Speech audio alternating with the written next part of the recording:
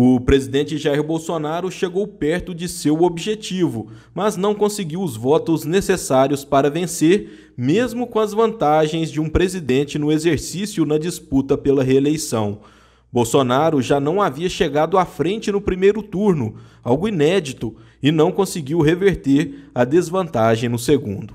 Desde quando a reeleição foi aprovada no ano de 1997, durante o governo de Fernando Henrique Cardoso, nenhum presidente havia ficado no poder por menos de oito anos.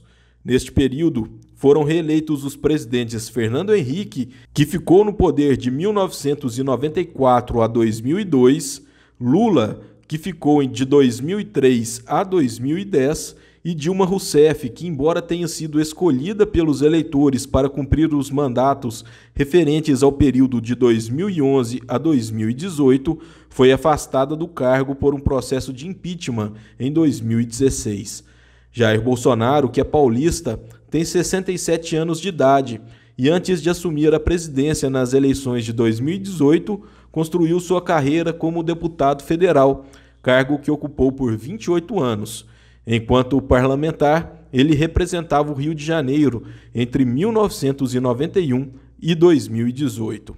Alavancado pela onda antipetista, Bolsonaro, à época no PSL, foi eleito presidente em 2018 com 57,7 milhões de votos, com a principal promessa de combate à corrupção alimentada pela Operação Lava Jato.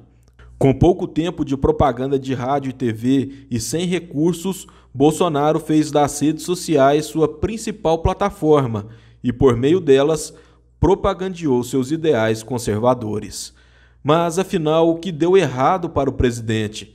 Para a grande maioria dos cientistas políticos, a alta rejeição do presidente pelos eleitores foi determinante para sua derrota e apontam entre as causas disso a forma como governou, sua gestão da pandemia e a piora da economia durante o governo.